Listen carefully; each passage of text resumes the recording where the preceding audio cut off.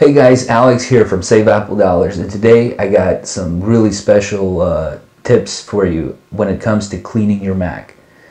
Now, I've refurbished hundreds of units, and you know, I gotta tell you, when it comes to these uh, Apple stickers that everybody likes to put on their laptops, um, or scuff marks, it's very difficult to get them out, and I've tried probably over 50 products of different types to try to get uh, get the stuff off. Anything from vinegar to, you know, SOS pads to uh, many different uh, types of uh, chemicals.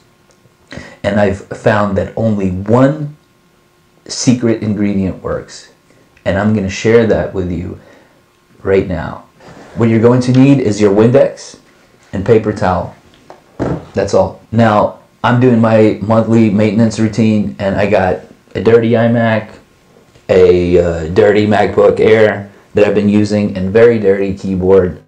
Once uh, I start applying some of this stuff to it, you'll see it works miracles. I tell you, this is like uh, SOS pads for pots and pans, right?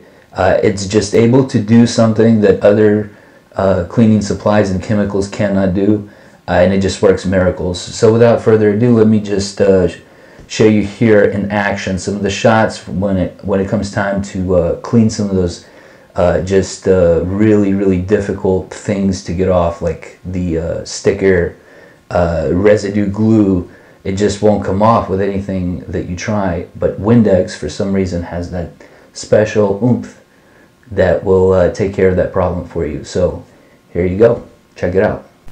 So there's a sticker in the back of my iMac and we're going to give it a few sprays here and just rub it with the paper towel.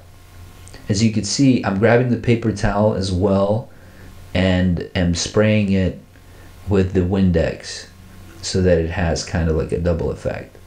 What happens here is it takes a while for the active ingredient of Windex to kick in and start going into some of the gunk in the sticker.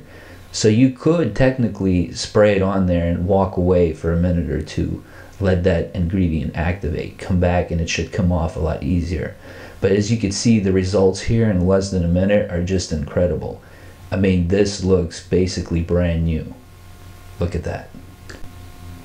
Now moving on to our keyboard here, you can see that that enter key is just disgusting. Uh, we're just going to spray the Windex onto the keyboard openly.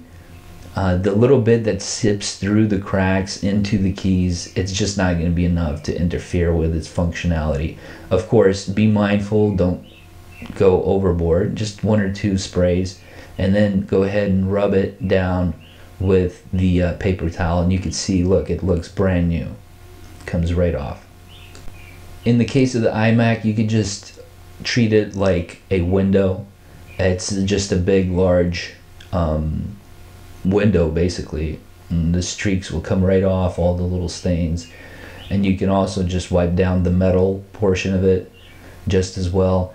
Uh, once you wipe down the wet part, get a nice and dry paper towel and then just make the streaks go away with a dry one. For the aluminum MacBook Airs and Pros, I have a uh, routine where I basically start off at the top, give it a few sprays, and wipe off the uh, top portion of the case, like the, the out, outside of the screen. Then I flip it over and I do the back. Again, a few sprays and just uh, wipe it down, concentrating on any uh, specific scuff marks. Then I go ahead and open it up and uh, this is where it gets a little tricky. You don't really have to power off the unit. Just make sure you press that power button so the screen kind of shuts off. Uh, and then what you want to do is you want to spray the uh, paper towel, uh, not the uh, keyboard itself. Just because it's a little more sensitive and there underneath that keyboard there's a you know logic board so you don't want to damage that and in this process you're going to invertedly hit the uh, power button a few times and the screen's gonna flicker, it's fine. It's not a big deal. I've done this a thousand times, never had an issue. So just uh, gently, with not too much pressure, wipe down the keyboard it's not really to hurt it. It's to make it look nice and uh, get that gunk off.